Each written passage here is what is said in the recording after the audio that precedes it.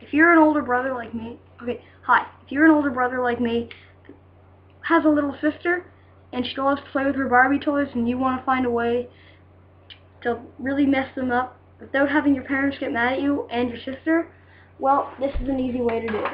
If you have a Barbie camper, and your Barbie has a, has a Barbie like this, just go like this, and then click this button. Okay, that didn't work. Take two. It doesn't always work. There we go. And then you just set her next, and then go like this. Make sure she's like this. And then I'll press the button and it'll steady her up. And she's like, and then she's hanged. Perfect. Okay?